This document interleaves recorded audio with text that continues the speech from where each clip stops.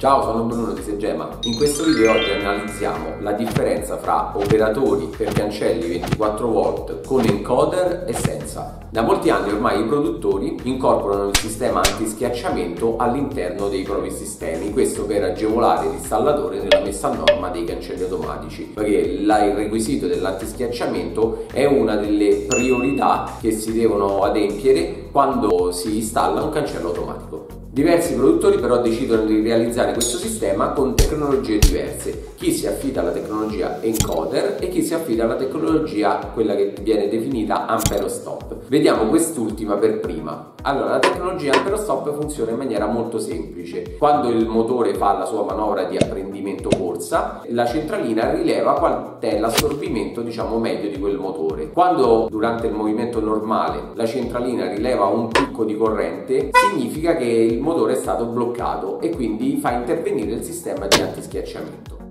Logicamente questa soglia non può essere molto bassa perché altrimenti il cancello si fermerebbe in continuazione. E quindi algoritmi diversi di produttori diversi utilizzano sistemi più o meno sofisticati per rilevare questi picchi. Nella tecnologia encoder invece funziona tutto in maniera totalmente diversa, c'è un dispositivo appunto l'encoder sul motore, in pratica durante la manovra di apprendimento corsa si rilevano i giri del motore, quando questi qua diminuiscono significa che il motore è stato bloccato da un ostacolo e quindi si fa intervenire il dispositivo antischiacciamento. Noi sicuramente preferiamo la tecnologia encoder perché? Perché è sicuramente più precisa, in quanto non subisce delle variazioni anche in base a fattori climatici. Ad esempio, nella tecnologia Ampero Stop, su molte istruzioni di alcuni produttori, si scrive che la manovra di apprendimento va fatta con motore freddo. Questo perché? Perché il calore fa alterare e quindi farebbe alterare anche l'apprendimento della centralina. Questo significa che a differenti temperature il motore ha un assorbimento diverso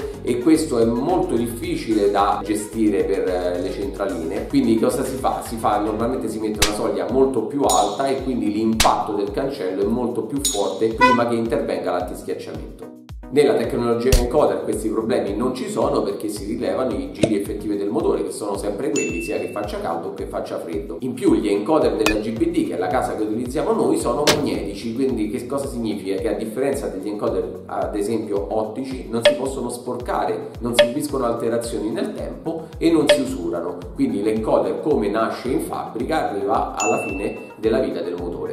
Allora perché c'è questa differenza di utilizzo di tecnologie? Beh perché ogni produttore sceglie i propri clienti. Utilizzare la tecnologia Ampero Stop richiede solamente due fili, quelli di alimentazione del motore e nell'ottica del fai da te è molto più semplice l'installazione, mentre utilizzare l'encoder richiede più fili, richiede anche un'attenta verifica del cancello perché il cancello si deve muovere meccanicamente anche bene e questo qua permette anche di settare delle registrazioni registrazioni sulla centralina molto più precise, cosa che fa un professionista e molto più difficile avviene nel campo del fai da te oppure dell'installatore occasionale. Questa differenza tra tecnologia encoder e tecnologia 24 volt per lo stop è solo una delle poche differenze che ci sono tra prodotti professionali e prodotti meno professionali, che non significa che siano meno buoni, ma significa solo che sono rivolti a un pubblico meno esperto e che quindi permettono dei settaggi un po' più rudimentali. Se vuoi approfondire tutte le differenze che ci sono tra prodotti professionali e meno, puoi venirci a trovare se sei nella zona di Roma,